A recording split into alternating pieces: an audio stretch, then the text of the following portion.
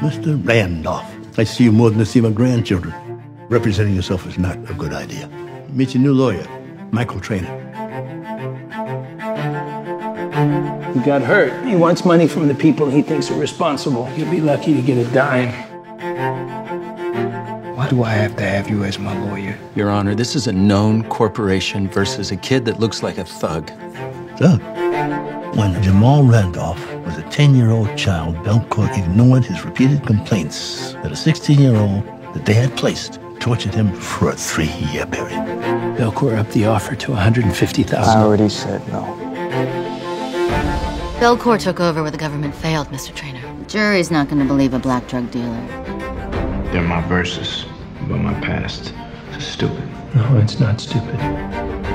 Jamal, you write, don't you?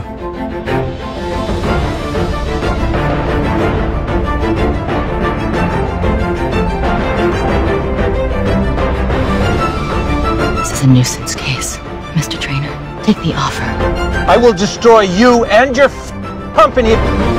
Sometimes when we meet people, we don't see them for who they truly are. I'm sorry that I did not see you, Jamal.